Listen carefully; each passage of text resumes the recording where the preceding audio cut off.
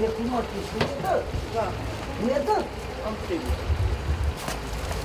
Dacă nu ne dă, dă Teoretic, aceste ajutoare ar trebui să ajungă în casele celor mai sărace familii. Unii dintre ei au demonstrat astăzi contrariul. Nu au bani de o pungă de mălai sau de o sticlă cu ulei, dar au bani pentru taxi.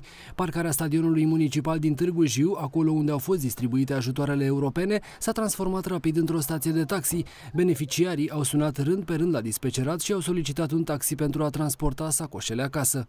Cu ce să mergem? Că nu avem cu ce să mergem. Tot cu taxiul. Punem tot, mână de la... Bași la taxi, bă, în ușă. Da. S-a dus să-și aducă copilul taxiul.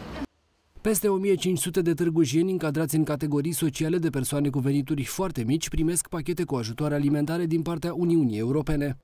A început distribuirea pachetelor cu alimente acordate prin programul operațional Ajutorarea persoanelor defavorizate, a șasea tranșe, Uh, începând cu astăzi, distribuim persoanelor beneficiare de ajutor social și celor care beneficiază de alocație de susținere a familiei.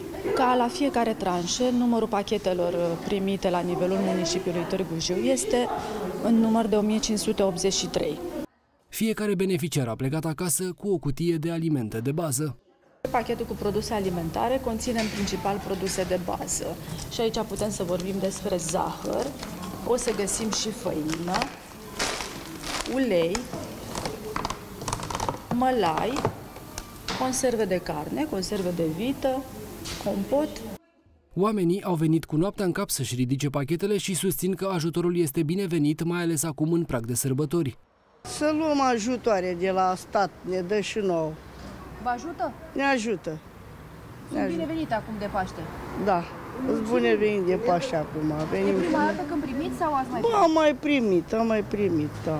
Domnul să le binecuvintează, ca atâta mai bun nu pot să le Este spun. prima dată când primiți sau mai primiți? Ba, mai primim, mamă, că nu suntem la social, la ce și lucrăm și ne dă. Dacă beneficiarii nu vor veni să ridice aceste ajutoare în termen de 45 de zile, pachetele vor fi redistribuite persoanelor cu handicap în data de 22 mai.